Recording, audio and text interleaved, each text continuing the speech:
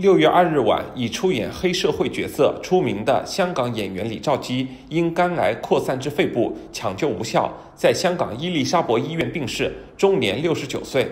李兆基去世后，香港导演李立池发微博悼念。六月三日，李立池向记者表示，李兆基非常仗义能干，为朋友帮忙尽心尽力，对电视界和电影界贡献良多，在香港演艺界是值得被怀念的人。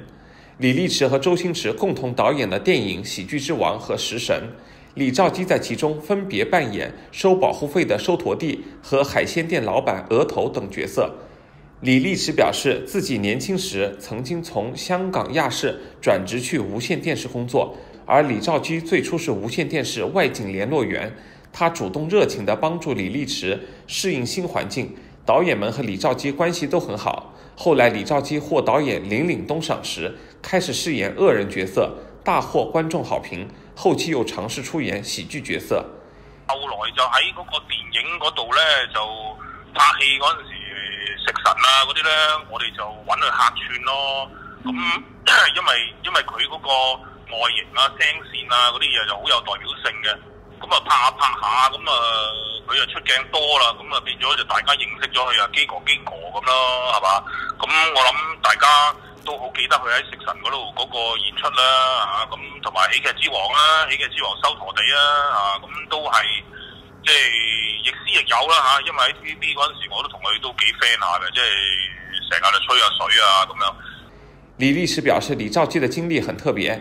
李立池大讚他既上得了台前拍戲，也能在幕後做雜物，是個多面手。同時，基哥也很有義氣，任何時候打電話讓他找外景，他都聽電話，從來不拒絕。同埋因為佢又好夠義氣嘅，即係有咩事揾佢啊，都佢實冇托手踭嘅，即係梗係應承咗先嘅。咁變咗，即係基哥基哥係。即係其中一個少數，我揾唔到喺娛樂圈裏邊有人會鬧佢啊，或者有人會係話誒咩幾個唔好啊，或者咩咯，即係個個都會係即係即係喺喺別人口中都係一個好有義氣嘅一個一個人嚟嘅。後來李兆基曾經兩度中風，之後淡出影視圈。二零一八年又不幸患上肝癌。李立池表示，這時基哥一改熱情風範。變得非常低調，李兆基一度想放棄治療，在親友鼓勵下接受腫瘤切除手術，可惜最後還是不敵癌魔。後期因為佢佢病咗啊，咁變咗就個人就低調，又唔肯揾朋友，我哋約佢佢都冇腹肌。據了解，二十世紀八十年代，香港影壇有不少江湖及英雄電影，李兆基多演黑社會角色，他和黃光亮、陳奎安和何家驹齊名，並稱香港影圈四大惡人。目前三人已經離世，現只剩黃光亮。